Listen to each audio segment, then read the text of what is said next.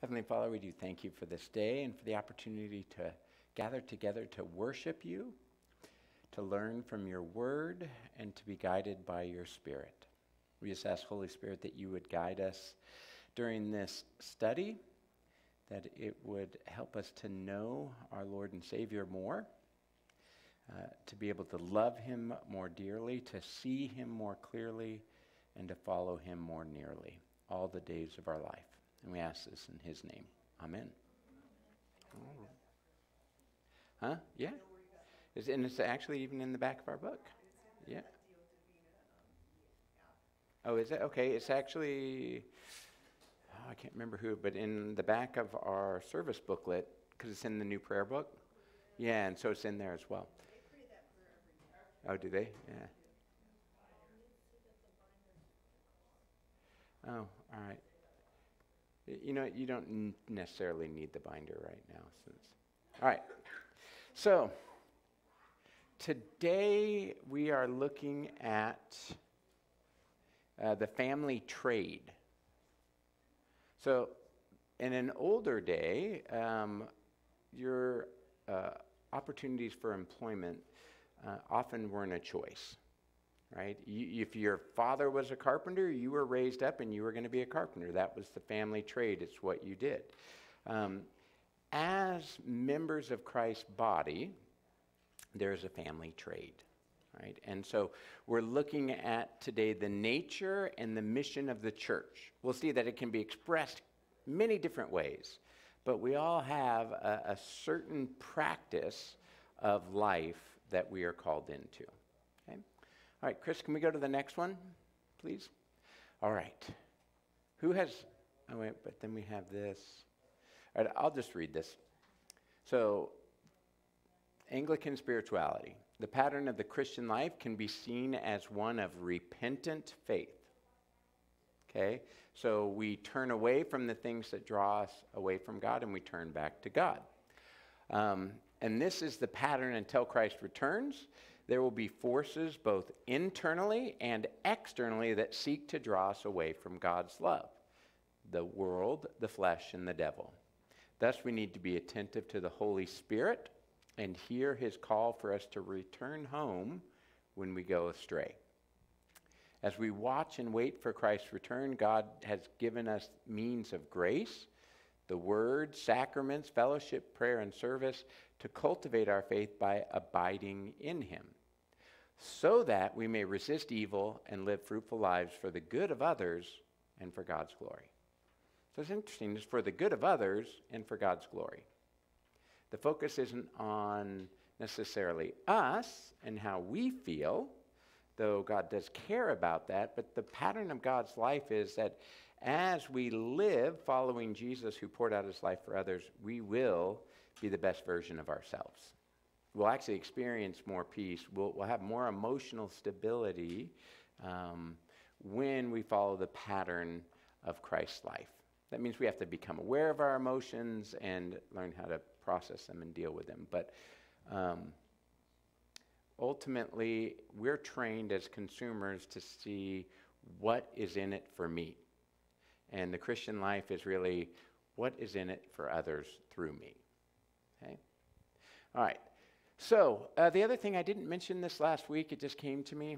I, I had a, Michelle and I had a mentor who said something that's always stuck with me is that we are called to be able to discern the many voices of the flesh from the Holy Spirit's voice.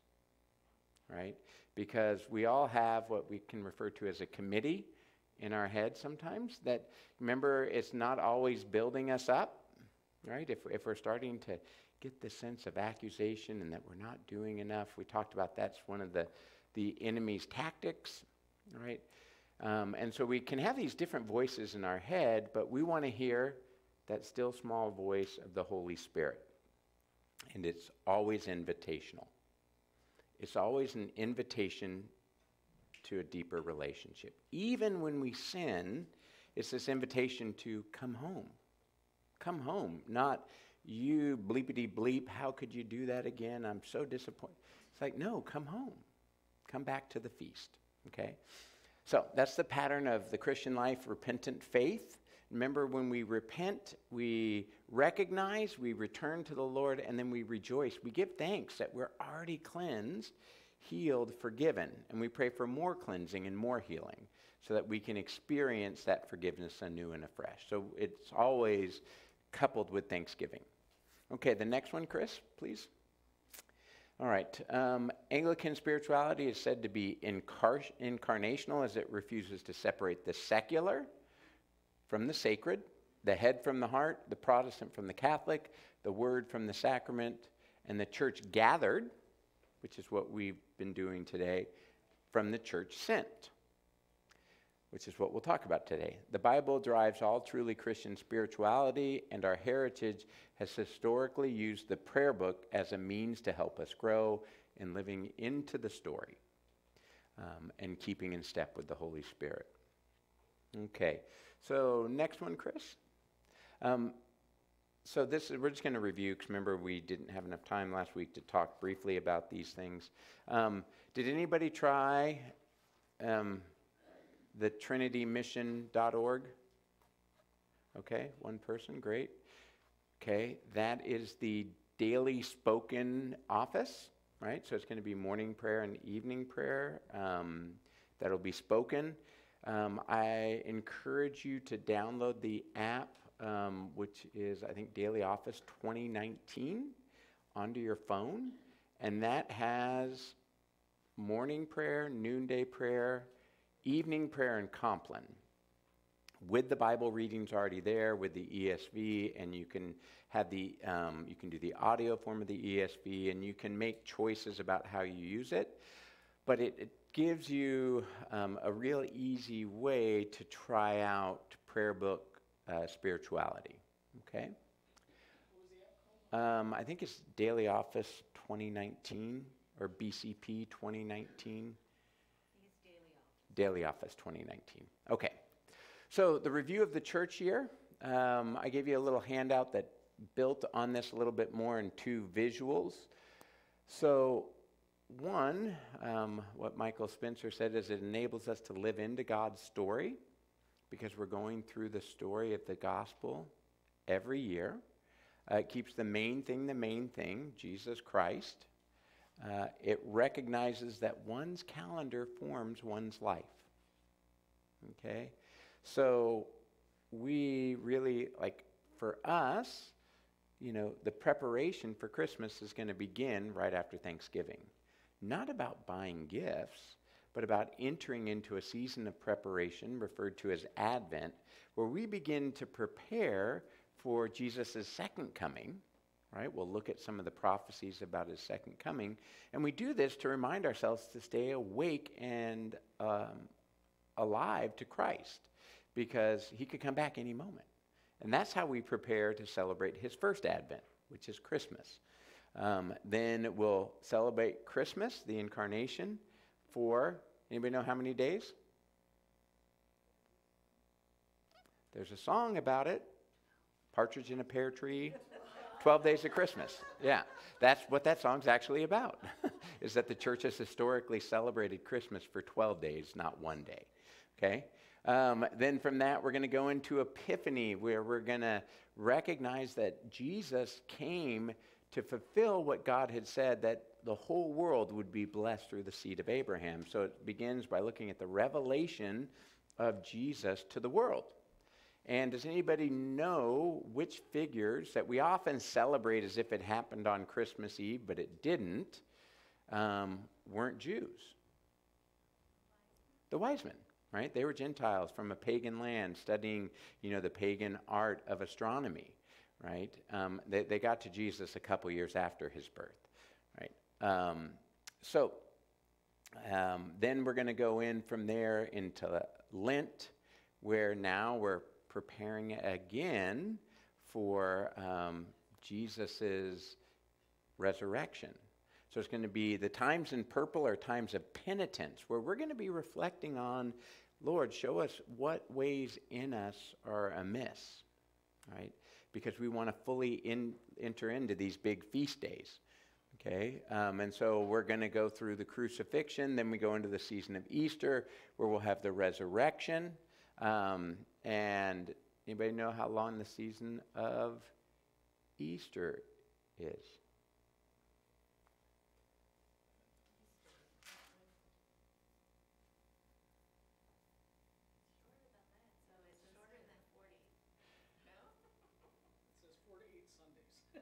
Ha- 48 Sundays? Oh, four to eight Sundays?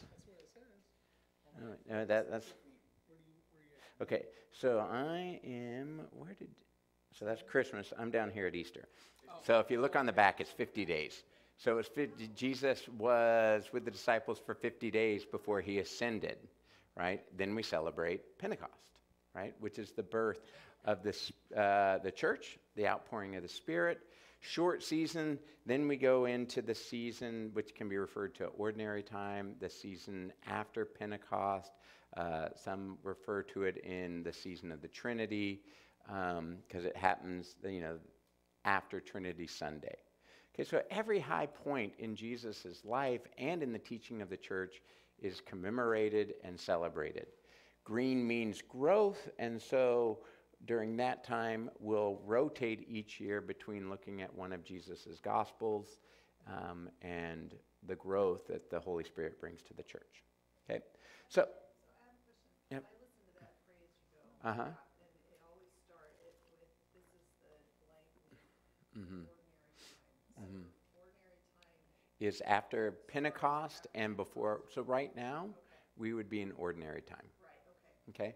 And that's because that app is from the Jesuits in Britain, which are Catholic, and they refer to it specifically as ordinary time.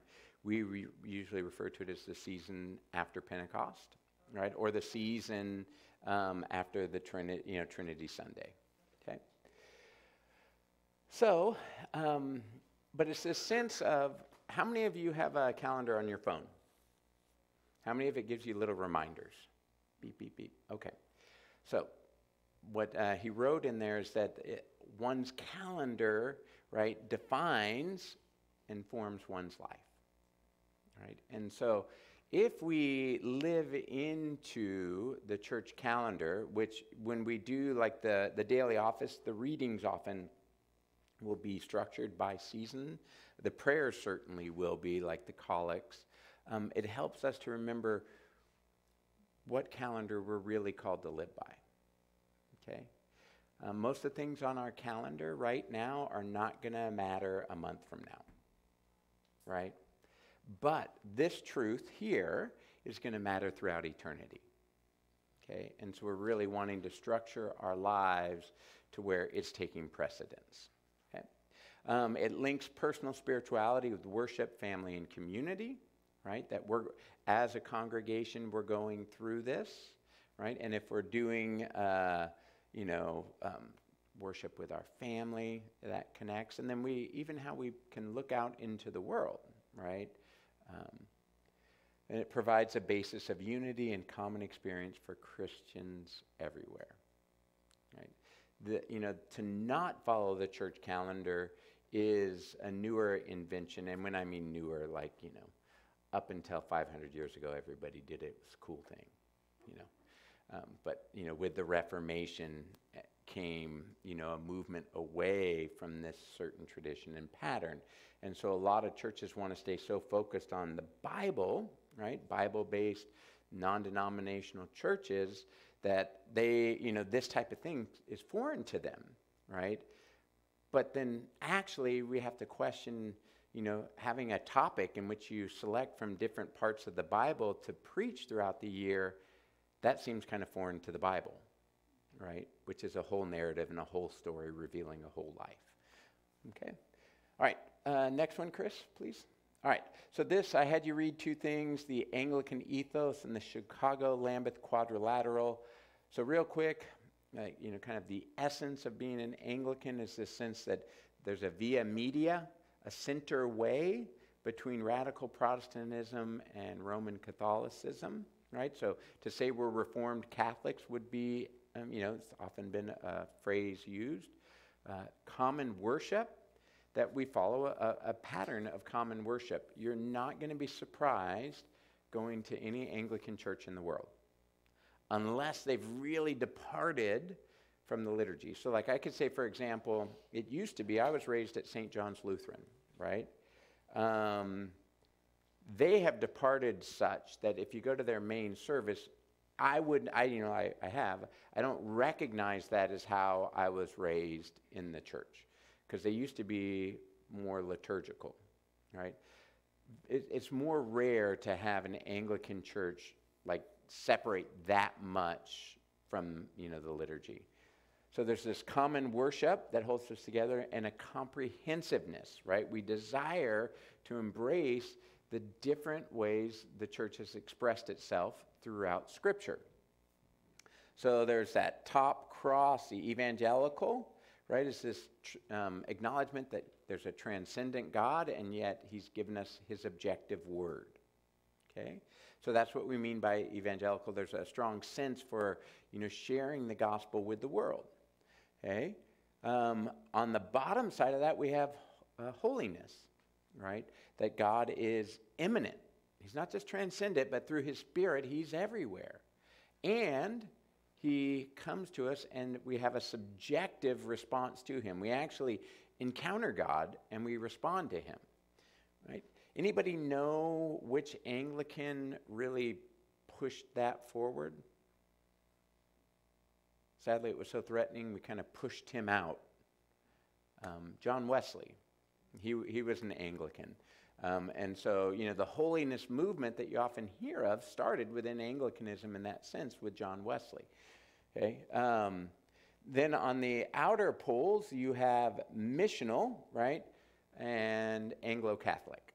So, Anglo Catholic, just simplified, is the church gathered, right? The sense of beautiful worship, um, the acknowledgement of God in our, our midst, and the world being sacramental um, and sharing those sacraments. And then on the other side, it's missional, right? The church dispersed, sharing the gospel with the world. Okay, so this is um, a, a, way to kind of understand what we're trying to hold together um, in Anglicanism. A lot of denominations will just kind of focus on one of these, right? And, and we're trying to hold them all together. Um, then the Chicago Lambeth Quadrilateral, if you saw that in the uh, late 1800s, there was this desire and attempt within the Anglican Church to see the whole church reunited, right? Based upon Jesus' prayer in John 17 that we all may be one. Um, there was this sense of, hey, we're on things that are non essential, we're, we're willing to forego um, the things that we've held to in order to be in unity. But these are the things that had to be present, they said. Is one, we acknowledge anybody's a member of the universal church if they've been baptized in the Father, the Son, and the Holy Spirit. Okay? Then um, the unity is based on this. If we can all agree of the authority of Scripture, if we can all look at the Nicene Creed and say, hey, this is a foundational summary of the faith. There's a lot more to it, but if we can agree on what the Nicene Creed says, we, can be one. Um, then that we agree on the gospel sacraments, right? Baptism and the Lord's Supper.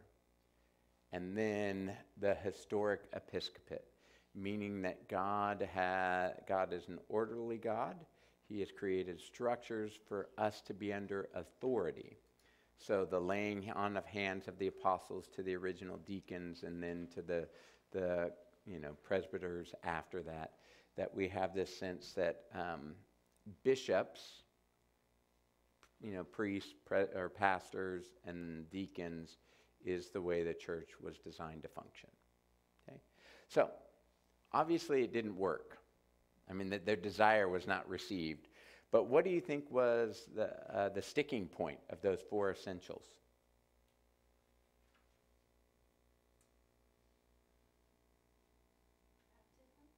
No. People didn't have a problem with the baptism. Huh? No, they were they're okay on those first two. Or the authority of Scripture, Nicene Creed, I think everyone was okay with the baptism. but it's this sense, I think, of the need for bishops, right? That you have to have a bishop, right? Because some people are very afraid of, well, then does that mean you have a pope? And, you know, so there's that. And then also, like I shared, you know, up until the Reformation, there was never any doubt in anybody's mind that, you know, the Lord's Supper, communion, Eucharist, there was something taking place there beyond comprehension, that it was a real means of God's grace, that the Spirit was active and present. It was after that that people started to go, you know what, I don't, I don't think that's what Jesus meant. And so, for, you know, they're like, hey, if we're going to all be one, we really need to get our, our understanding of the Lord's Supper together. And I think that's where they also kind of. Okay? But it shows, the reason why I share that is it shows the impulse within Anglicanism to actually want to, to all come together. Okay? All right, let's move forward, Chris, please. All right, briefly share with your neighbor what church is in your own words and what the mission of the church is.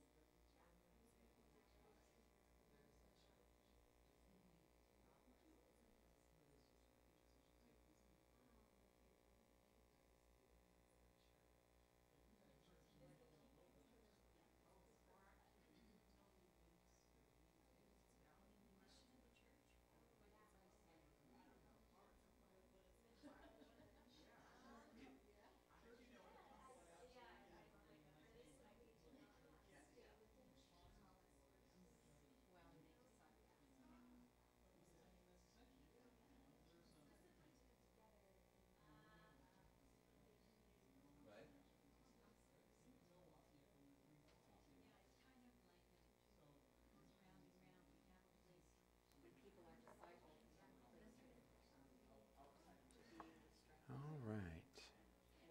Anybody want to share their definition of the church? Jane does? Okay. Very good. I'm going to take off our mic here.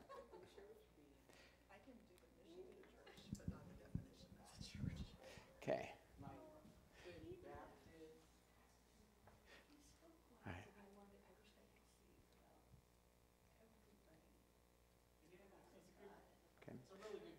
Okay. Good. We'll, we'll get to that. All right. What what did you say? Church? Well, I'm actually more comfortable on the mission of the church. Right.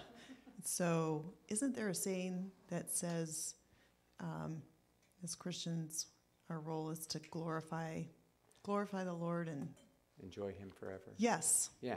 So yeah. So but that would be the you know the way that stated is what is the purpose and chief end of man, and that is to know and enjoy God and glorify Him forever. Okay. yeah. So, but that, that's the chief end of man. So, and how do we do that? There's a lot of different ways, right? But primarily one. So, like the mission of the church is to share the love of Christ with the world, right? That they may know him, right? Um, what, what's the definition of the church? And there's no single right answer. I'll show you in a moment that Scripture refers to several images. We thought it was, or I said it was the people. Very good. It's the people, not the building, right? So, what makes All Saints so awesome isn't our awesome digs, right? It's all of you, right? So, um, you know, and that's that's the reality. I mean, to think that we need a beautiful cathedral in order to worship God is a gross misunderstanding of Scripture, right?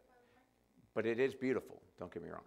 Yep. Um, we ha- had a good question. Yep. Uh, the church The church. is not just Anglicans, Oh, absolutely not. right? Yep. No, so that's good. We want to distinguish between the universal church and the visible church. Okay? So the universal church represents all people who have placed their hope and trust in Christ alone throughout all time and in all places. That's what we're a part of. Okay? The Anglican denomination is one way of living into that. It is not the way, right? I think the first class I said, if I'm put to the test, I would like to die for Jesus, but I'm not going to die for the Anglican church, right? Dying for Jesus would be to die for the universal church, right? Um, and so, but there's also the sense of the visible church, which is what most non believers will focus on. Right? They're going to focus on the organization, the institution, the corruption, the fact that sinners are still a part of the church, which we know we are. Our very liturgy reminds us of that, but we're forgiven. Right? So the, the kingdoms of men will look at the church like any other institution, and they're going to see faults. And because there's no sin free zone area in the world, right? Even in the church that we should do everything that we can to be as healthy of an organization to present a different picture of the world to you know those who are outside the church. That's what we actively seek to try to do. And that's where we just need to really um, kind of like that repentant faith. We need to acknowledge where we're wrong turn back to the lord and if we've harmed people in the midst you know to make it right Christians should be the first ones to admit that they don't have it all together. Right. Okay, um, let's go to the next slide, please. Okay, so this, looking at the, the church the way it's defined in the New Testament sheep in Christ's flock, citizens of God's kingdom, brothers and sisters in God's family, stones in God's living temple, um, branches of Jesus' vine and members of God's body. Okay? Um, John Stott, the great evangelical Anglican, said, We belong irrevocably to one another because we belong irrevocably to Him. Okay? If you look at most of those, have a very organic nature. It's about being connected to something. The New Testament doesn't know or present anything about um, being a Christian without being a body, a part of a body, without being a part of a local congregation. Like to them, that would be like, oh, that's like foreign. That, that actually isn't the way things are structured. Okay? So here's, here's one of my illustrations I like. Well, being a part of a church um, can bring its challenges, right? Um, and those challenges can serve a great purpose if we're up for it. But uh, one author talked about putting together a bunch of beautiful or um, raw gemstones. Okay? And before you get like the real beauty out of the gemstones, you know what they do? They put them in a pouch and they put it in a shaker, and it shakes all the gemstones together, and knocks off their rough edges and smooths them out. We are those rough gemstones. The church is the shaker, right? And, and so that means that if we're really going to live in relationship in the body of Christ, we should expect conflict, we should expect dysfunction, but we should actively be committed to living out what Jesus teaches us on how to deal with conflict, how to deal with dysfunction, how to extend grace and forgiveness and mercy and seek restoration. That's the only way we're going to really um, be healthy as followers. And so, if you think about that, if I'm a rough stone and my God's goal for me is to be smoothed out, and I'm making a commitment never to be a part of the body of Christ, but I'm just going to follow Jesus, well, then we're going to be falling short of what He's designed. All right, let's go to the next one, please, Chris. Oh, good video. Churches are full of people the broken, the lonely, the wanderers, the hopeful, the enthusiastic, the lost, the passionate, and the faithful. For many, that. Yeah, let's pause it for a moment until we get that worked out.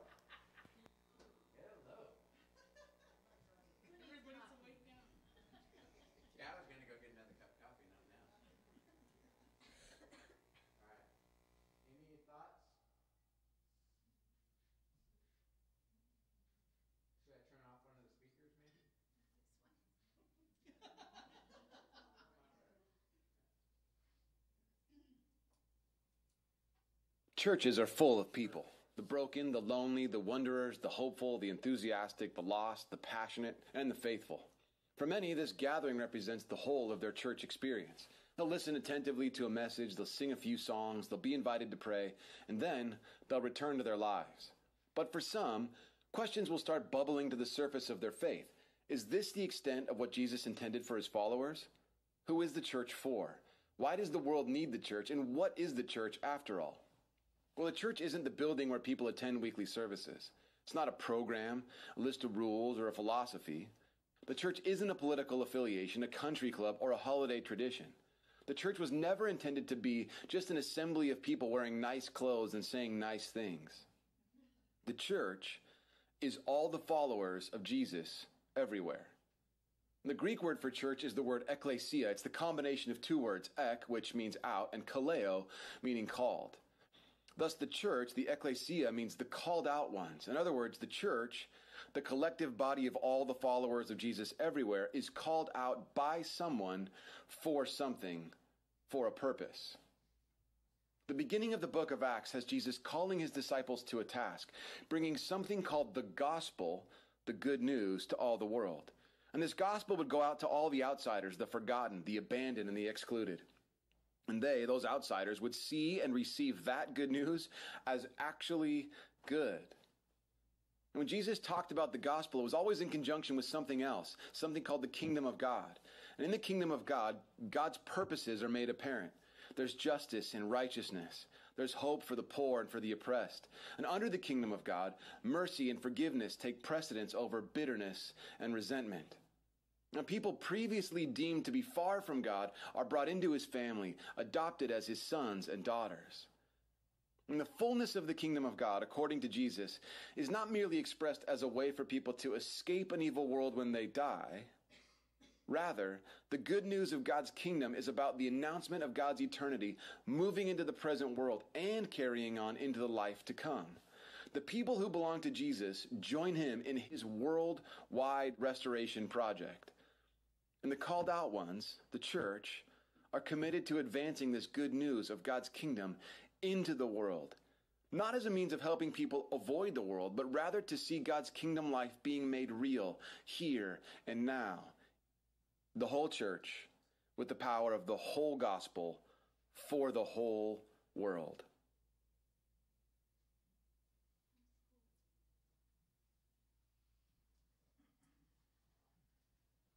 Right. Thank you, Chris, for getting that worked out. All right. So, what did you guys think of the whiteboard church? That's good, isn't it? Okay. So, um, I love watching presentations like that. They make things so simple. But simple is not always easy, right? But we have to continue to be reminded of the truth so that we will be allow ourselves to be moved and take up courage and step out in the direction that our lives are meant to go okay um, so that came from the lausanne covenant which was this worldwide evangel uh, like uh, what's that called ecumenical meaning all denominations kind of came together and said how can we really kind of bring the gospel to the world. And so that's what they came up with, the saying the whole church bringing the whole gospel to the whole world. Now, was there anything missing from that presentation that you could think of?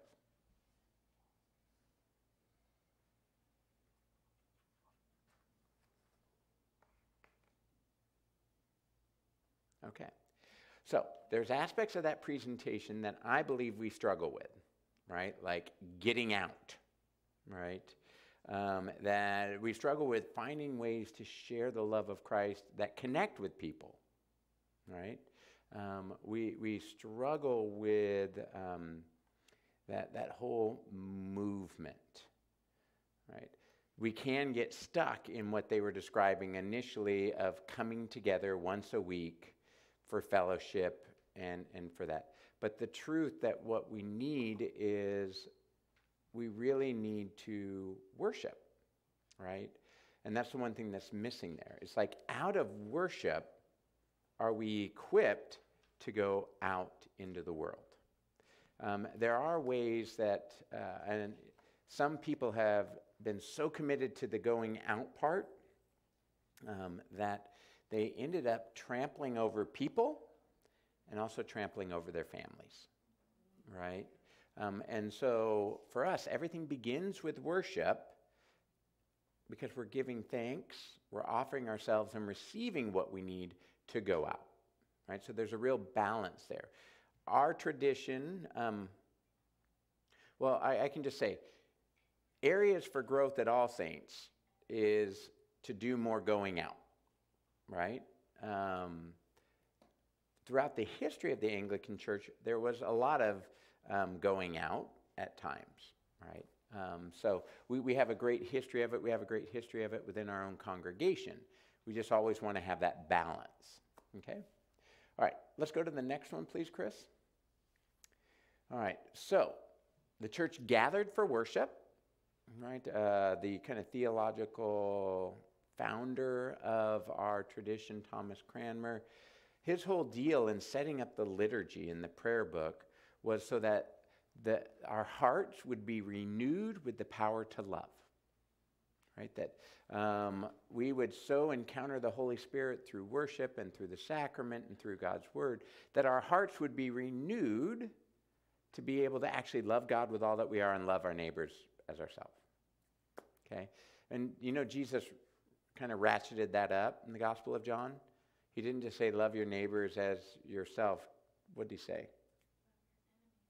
Well, he said, love your enemies, but he said, love your neighbors as I love you. Okay. Right? That means we've got to be willing to pour out our lives for other people's lives. Okay? So, we gather together to be renewed in the power of love and so that we can be the church sent on mission. And so the way to understand, you know, from the New Testament perspective, mission is sharing the love of God through the gospel. That's what the Great Commission's about. Right? The good news, I love that little um, signpost, right? Los Angeles, 45 miles. And then God was like infinity, but in Christ it's now zero, right? To share the love that God is actually for us, He's for all of creation, and that it doesn't require work and effort, it just requires admitting our need, right? All we need is need, and that's what most people don't want. I don't want to be needy. I don't want to be weak. I don't want to have to have a savior, right? But that's that's what that, that's the message of the gospel. Okay? And we need to be known by our love in all spheres of our lives. Right? So I can't behave like a Christian in worship on Sunday and then go to work and chew people out. Well, I may go chew them out because I'm human, but as a Christian, then I should go back and seek reconciliation and admit, you know what, that was wrong. Can you forgive me? How can I make that up to you? Right? Because if people don't see that we're willing to walk in the ways of Jesus, do you think they're going to want to hear about Jesus? No. Okay. Um, and so we have the Sermon on the Mount, too, which says we are called to be salt and light. Salt preserves, and it also adds flavor. Light casts out darkness. These are kind of the qualities of our lives that we're looking for. Okay? All right, let's move to the next one, please. Okay. So I think I put in here this now in the 1979 prayer book. Um, I'm giving you some of the uh, service there. This is now summed up with Will you obediently keep God's holy will and commandments and walk in them all the days of your life? And your, your response will be, I will, the Lord being my helper. But when I first started teaching this, we didn't have that prayer book, and I still like the way the 79 prayer book puts it, because um, it says, Will you proclaim by word and example the good news of God in Christ? So that's uh, in, in confirm, being confirmed, we're recommitting ourselves to be the sent out ones, right? That um, we want to share the love and grace of Jesus in all our lives. Okay? Um, and then it's going to say, Will you seek and serve Christ in all persons, loving your neighbor as yourself? Okay, let's say someone's an unbeliever. Um, How is Christ in them? Okay, good. Made in his image and likeness, and Christ died for them, and that's their means to be brought back. So we believe, even if someone, like, if someone's not a Christian, does that mean that they're bad? No. Not at all, right? God created them. Jesus, you know, died for them. So we are um, being open to love everyone God puts in our path because He created them. And we trust that God is in control in ways we don't understand, and He's brought these people into our path. Not for us to curse them, but to bless them. Okay? Um, so, loving our neighbor as ourself. And then, will you strive for justice and peace among all people and respect the dignity of every human being? Okay. So, this is um, right now, there's kind of an alternative. You know, we talked about worldview before. So, there's a worldview that's actively present that's disconnected from the Bible. Okay.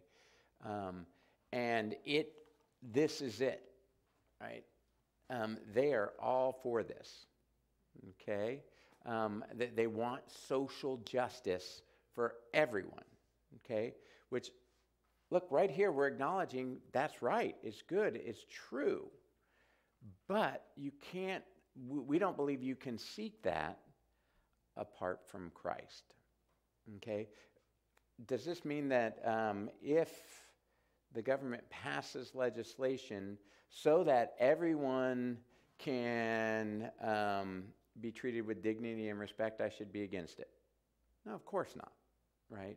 But I'm just wanting to make the, the case that um, in, in some ways this has been elevated to a point that you have to seek out um, this in every realm. And if you don't agree with it or agree with the means in which it's bringing about, you can immediately be lumped uh, with those who are causing the injustice.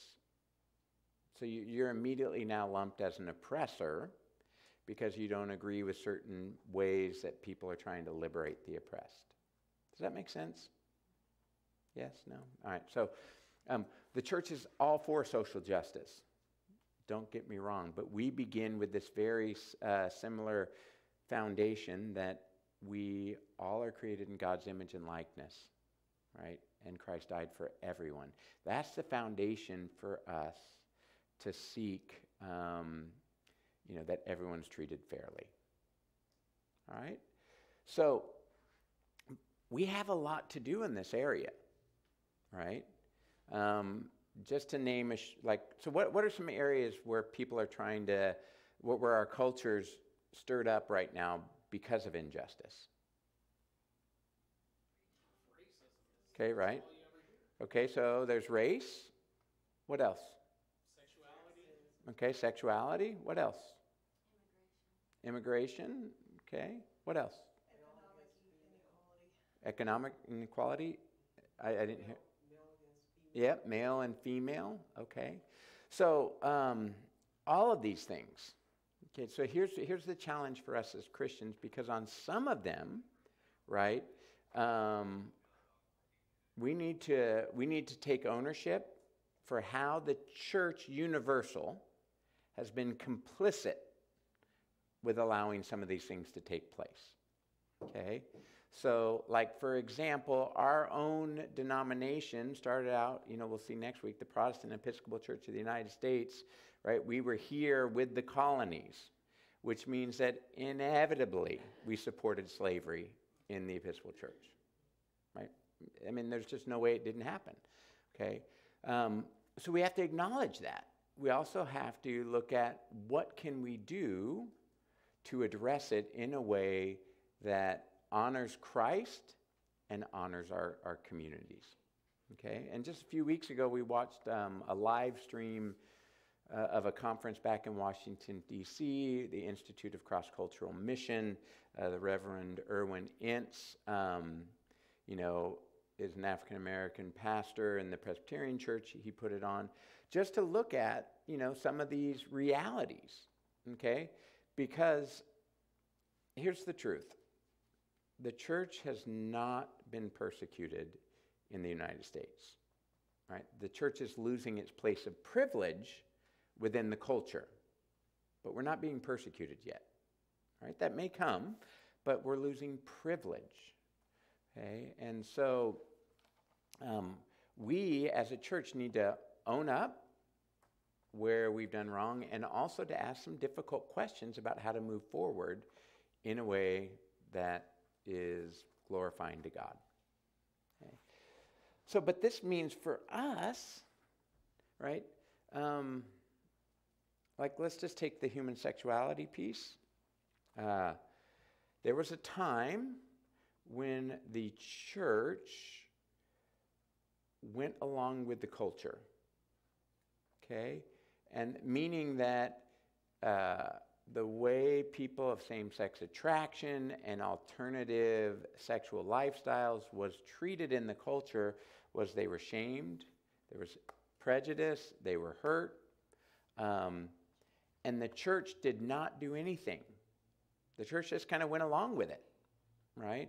And so then the culture changes, and the church is then flat footed because they never actually said, What's a gospel stance to this? How do we welcome all people like the church is called to, right? Rather than, you know, what often happened, um, you know, not often, but, you know, we had these horror stories of like when the AIDS epidemic was taking place, you know, um, at gay rights parades, right? You would have Christians out there holding up signs that God hates fags, that this is, this is judgment for your sin, right?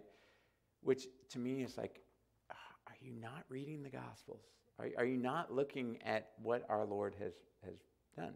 But we need to understand then that there's a reason why the culture, you know, and people who have alternative sexual lifestyles don't want anything to do with the church, right? Um, I mean, that's not even a generation ago that this was taking place. Okay? So all I'm saying is to be the called out ones, we have to really wrestle with our own sin and seek forgiveness and look at how can we take this good news in a way that meets people where they're at. And so it may begin with us first listening. First listening to people's experiences before trying to tell them what they need. Okay? Yep. Yeah, you want to share that with us? I don't know the whole thing, but uh, seek justice, Hmm. walk humbly, and love mercy. Yeah. Yeah, and that, that's the type of fast God calls for in the Old Testament, right? Is that we actually um, we have to we have to walk it out, right? Like there's a, a basic saying in recovery: you cannot transmit you something that you don't have, right? So that's why worship's so essential. We, we need to continue to grow and be renewed in our faith so that we have something good to offer, right? Okay, let's move to the next one. All right, so uh, the hope in us. This is what Paul or Peter says in his first letter, third chapter. In your hearts, honor Christ the Lord as holy. Okay, totally different, transcendent, other right? Always being prepared to make a defense to anyone who asks you for a reason for the hope that is in you. Okay? A sense of certainty, a sense of a, a future um, where, like, we can weather a storm because we know good things are to come, even if right now it feels no bueno, no good. Right? So, a defense to anyone who asks you for the, a reason for the hope that is in you yet do it with gentleness and respect. Okay? So, um, this ties into our spiritual autobiography, right? Uh, you're being asked to write that to reflect on the hope that's in you, right? To, to reflect on what, what God's done in your life, to reflect on who Jesus is personally to you.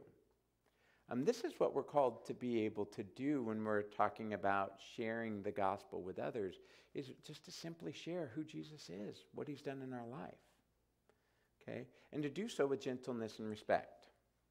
Right? I don't, um, I have this story, I was in college and I was, you know, fail, and actively failing out of college, actually, um, but I still went to campus and, you know, doing a lot of drugs, doing all these other things. And, um, you know, there was this either Campus Crusade for Christ or InterVarsity, you know, and someone, you know, young guy came up and asked me, you know, kind of sharing me about, like, do you know Jesus? And, you know, it was what I refer to, um, and I still, like, I mean, I'm still sharing about it, so praise God. I mean, the courage of them, you know, to do this, but it was basically this was the sense I got, right?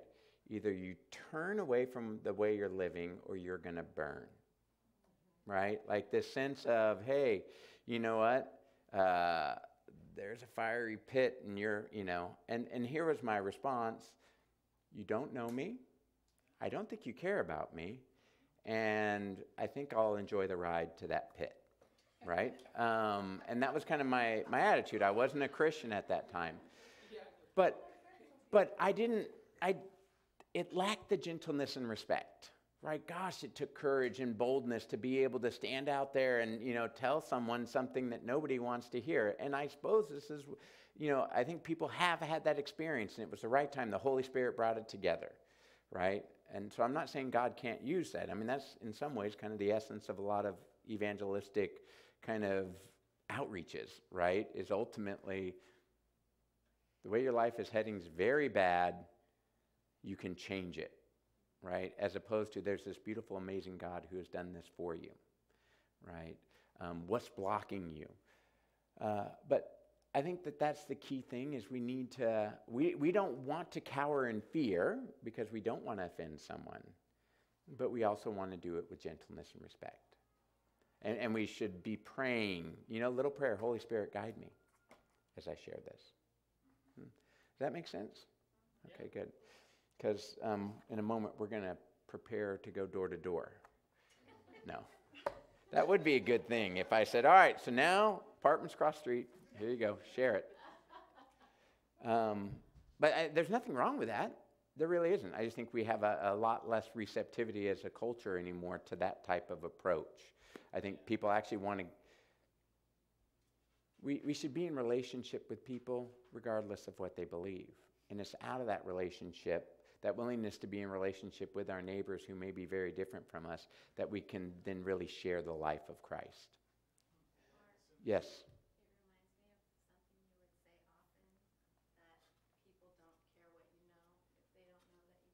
Yeah.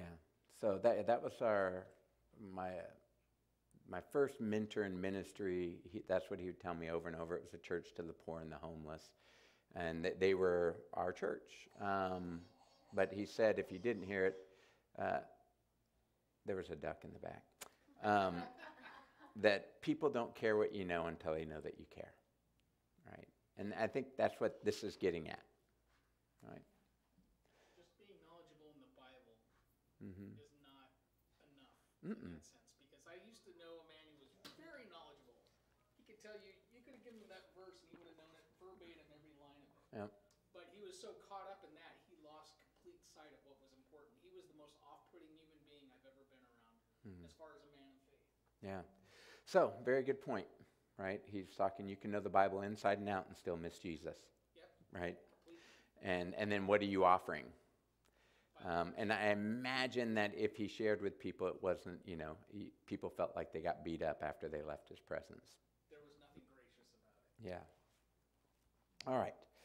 Um, so we want to know, right, the gospel, the good news of God's love for us in Jesus Christ, right? That God created us out of love. The design of God's eternal life is for us to be a part of His life, of His love, right? To be a part of the Father, Son, and Holy Spirit.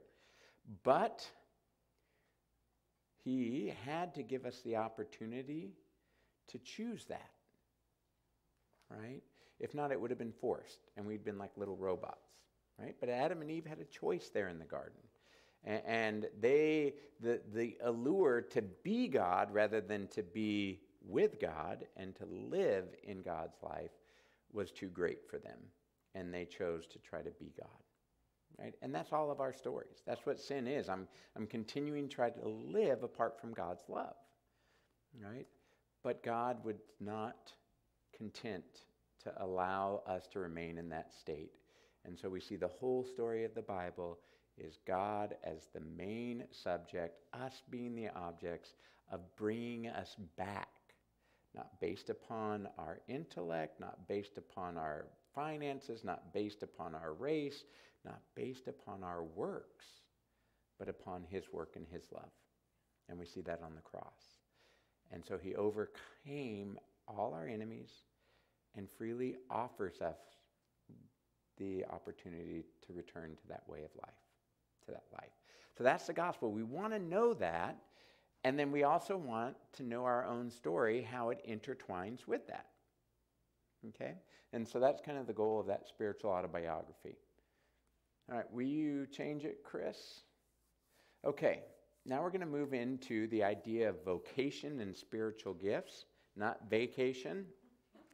Um, so, vocation, right, is this sense that we have a, a specific calling in our life. Okay? Um, I think we actually have multiple vocations um, that God has given us, multiple roles in which God has placed us, which, in, in a real sense, are our mission field, where we're called to serve. Right? We often think of, hey, if I'm really going to be a part of that called out church, I need to be under bridges serving the homeless, or I need to be overseas letting people know about Jesus. And I think that really being the called out ones begins first right where God has our feet. How am I living this out in my home? How am I living this out in my workplace? How am I living this out in, in the neighborhood? Now, we are called to, to stretch ourselves and go beyond that, but not everybody's called to do that. Okay, so here we, we see Matthew. Uh, you are the salt of the earth, but if salt has lost its taste, how shall its saltiness be restored? It is no longer good for anything except to be thrown out and trampled under people's feet. You are the light of the world. Right? That, that's us. We're actually the light of the world, he says. A city set on a hill cannot be hidden, nor do people uh, light a lamp and put it under a basket, but on a stand and gives light to all in the house. In the same way, let your light shine before others, so that they may see your good works and give glory to your Father who is in heaven. So, our good works are the ways that we're just seeking to humbly follow Jesus, right? So it's an overflow of our relationship. It's not a means to remain in relationship with God, right? It's just the natural being connected with Christ. We intentionally seek to be loving, okay? And the purpose of these good works is what? So that people will think, man, good Christian right there. No, it's so that they can see God working in your life. Yeah, it's all about God, right? So our, our loving actions really don't have anything to do with us. They're about the people we're trying to love so that they can see God in us. Right? When we lose that reality, we start to do good works for our own ego so that we can be great in the church or so that people will look at us and go, oh, what a good person, right? All right, and then the second one is 1 Corinthians chapter 12, verse 4 through 7. Now there are varieties of gifts, but the same Spirit, and there are varieties of service, but the same Lord. And there are varieties of activities, but it is the same God who empowers them all and everyone. To each, meaning every member of the church, is given the manifestation of the Spirit for the common good. Okay? So there are spiritual gifts that are given. And the fruit of our lives, which we're called to live into, is referred to as the fruit of the Holy Spirit, right? Peace, joy, love, gentleness, patience, kindness, respect, self control. Probably missed a couple in there. But, anyways, the point is if I have a Christmas tree, beautifully decorated, the, the gifts under the tree, are they for the tree itself? No, they're for others. And that's what this is saying. God gives us spiritual gifts, but they're not for us, they're for others. Right? And this is for the common good. It's about building up the church so that the church is healthy, so the church can go out and bless others, and that the church can grow. Right? In some traditions, spiritual gifts are the primary focus of so much. And, you know, from talking to brothers and sisters who are active in those traditions, it also becomes one of the greatest means of building up ego rather than blessing others. Right? They, people can get so wrapped up on having spiritual gifts and using spiritual gifts um, that they start to think the gifts are for them. Right? Um, you know, there's a common trend in all the ways the church expresses itself to have it go from being about God to being about us. Right? That's why, once again, repentant faith, you know, the Holy Spirit's invitation, come home, is our pattern of life. All right, let's move to the next section. All right. So, this is a painting reflecting confirmation. It's a, a picture of actually an ordination. So that's a bishop laying his hands on a priest, ordaining him, praying for the Holy Spirit to fall upon him to do this work that he's been set apart to do. All right. I mean, then there's a picture of Jesus playing with little children. I love all paintings that have Jesus laughing because I think that they, they didn't maybe have humor right, you know, at the first century or, or, you know, it just wasn't adequate. But I, I know Jesus had a sense of humor, you know, and some of the things that he said, I think, probably caused people to laugh at that time, but we're just so far removed. But, anyways, because um, I don't want to follow someone who's really stern and like oh, so serious, right? Do you guys? All right. So, what does this have to do with vocation and spiritual gifts? Right? We all have a calling on our lives. We're a part of the body of Christ. We're citizens of God's kingdom. We're his beloved children, right? We've been baptized. That's part of what baptism symbolizes. We've been adopted and brought into the family of God. Okay, so we, we have this role, right? And, and we're already able to be playful around Jesus. Okay? Um, if you guys can't laugh with him, just know he's laughing with you. So that might mean we're a joke, but um, I don't think he thinks that. So. Um, here we have this picture of the Spirit coming and the fire, which re- represents what took place at Pentecost. So at our baptism or at a confirmation, the bishop's going to lay hands on you following the, the form of ordination and following the ancient practice. And like I said, he's going to pray and he may get a word from the Lord and he may whisper it in your ear. But it's really kind of like an ordination service. You're coming forward to say, hey, I am, I, I'm acknowledging that I'm a member of the called out ones. That, that I am called to actually share this love of Christ in all aspects of my life. Okay? And so that's why we're praying for the Holy Spirit because to do this work, we need more of the Spirit at work. Okay? And so let's go to the next one, Chris. Um, we're all called to serve meaning that we have a vocation. The issue is not if, but where and how. Okay? Um, and there's three things that we want to think about, and I have this here. There's some questions here that we haven't got to, but you can look over. We've kind of been addressing them. All right, so it says, Where do you feel called to serve? Okay, and this is on our, our handout. It's the second to last page. Okay, so on the back you have the review. And here it says, Where do you feel called to serve? Oh, Allie and, yeah, you guys don't have it. It's last week's. That's next week's. Sorry. But so this is what it is affinity. What pulls on my heart when I look around the church, the community, and the world? Okay? So God's, God's not going to call you to serve in a way that He's not already stirring up within your heart. Okay? So you, you, I want you to pray about this and write this. When, when you look at the church, where are ways in our congregation that you may feel called to serve, right?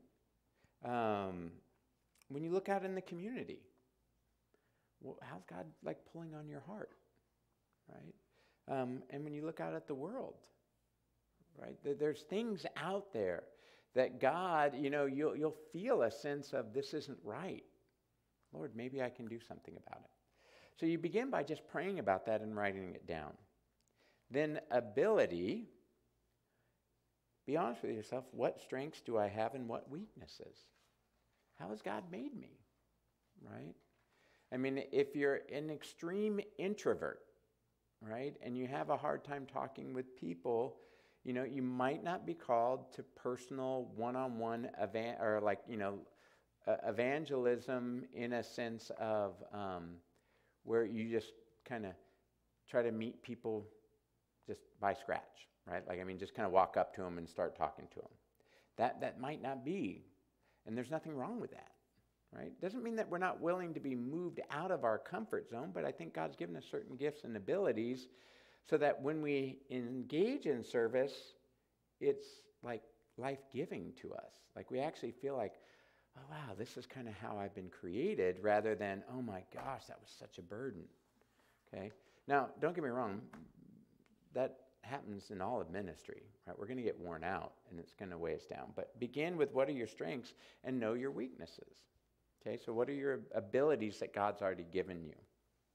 And then opportunity. Um, what do others see in me and what opportunities are available?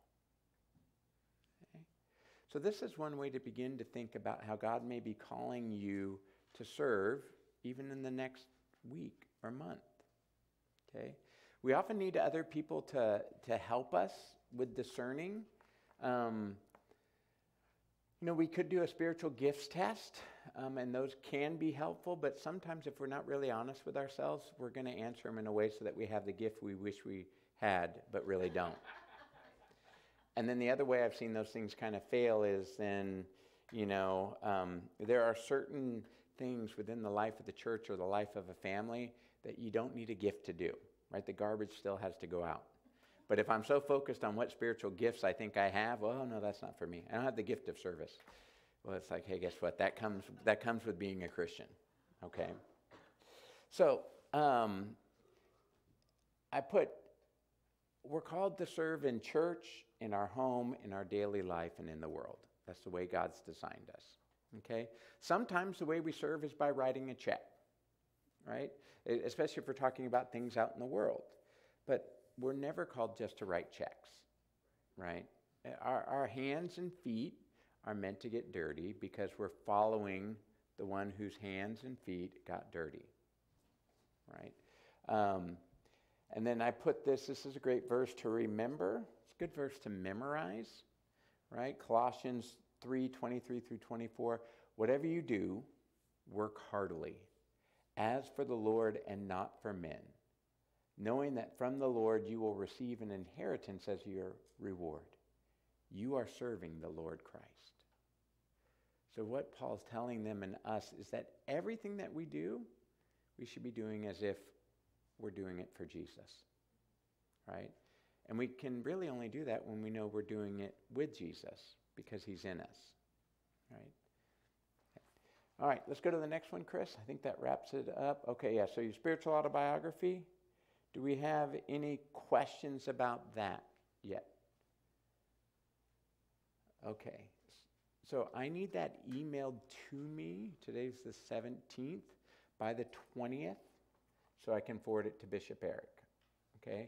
Like I said, um, it does not need to be anything really big.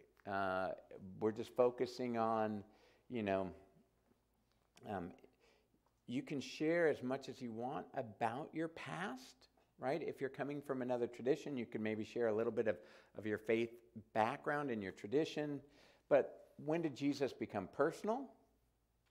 I mean, that's something to think about how Jesus changes and influences your life today, right? So, who is Jesus to you now? Um, you can define confirmation, and there's a definition in that booklet um, and why you want to be confirmed. Um, you can describe a little bit about Anglicanism. He's not looking for like you know. I would just share what what's drawn you to it. right? If you were raised up in it, you could share, all right, um, choice, not given, but this is what I like, okay? So for our young adults, you could share about aspects of Anglicanism that you like. Okay? Um, and then the importance of the creeds. Okay. Any questions on that? I've seen them be, you know, uh, as short as like, you know, six to ten sentences. Okay? So just kind of, and, and you can do as much as you want. I, um, but I think, you know, less, less is often more. Okay, um, let's go to the next one. So here are our terms church, mission, outreach, ministry, evangelism, vocation, spiritual gifts.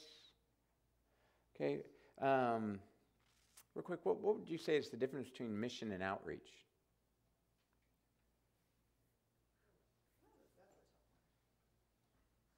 Guess what? I've given you a definition. So, um, but the way I usually think about it is the mission is is specifically connected with the gospel of Jesus Christ, right? Not just in deeds, but also in word. Okay?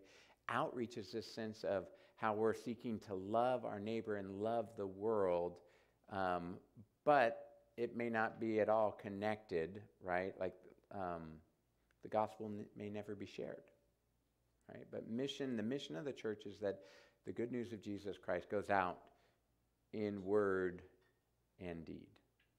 Okay, uh, Saint Francis, you know, he was a famous preacher. He said, um, you know, and I, I um, preach the gospel at all times, and when necessary, use words. Okay, he, he's, he's often attributed to saying that, but I talked to a scholar, or you know, he shared um, that he looked at all his writings that he had available, and nowhere could he find that written. Right? I mean, he, he, he started a preaching order. That's what the Franciscans were. They went out and preached the gospel. Right? And so Paul says if they, if they never hear the gospel, right, how can they respond to it? Right? The, the good works, it, it helps people know that we care about them enough to where we can earn the, you know, the ability to have their ear to share the gospel. But if all we ever did was just good works, right, we, we wouldn't actually be living the mission of the church. Okay. All right, so those are the terms. Next one for next week. Okay, so review, summary, and theological terms. Our reading from the Catechism this week is Need for Atonement, Healing, and Joy on page 24 through 25. And for our practice, I want you to reflect and journal on where and how you feel called to serve. That's answering those three questions um, affinity, ability, opportunity. Okay? Um, each day, try to be attentive of the simple ways you can bless others. Okay? Just by saying a little prayer in the morning, God, help me to bless others, um, is a good way to do that. And you know what? When we focus on blessing others more than on being blessed, um, we tend to have more peace, believe it or not. Right? Because if I'm focusing on being blessed, I'm going to be kind of anxious about whether it's happening or not. All right. In your service book, um, on page 73, that's the blue All Saints service book in the back. On page 73, there are three prayers for mission there. Um, I'm just going to encourage you to pray through them during the week.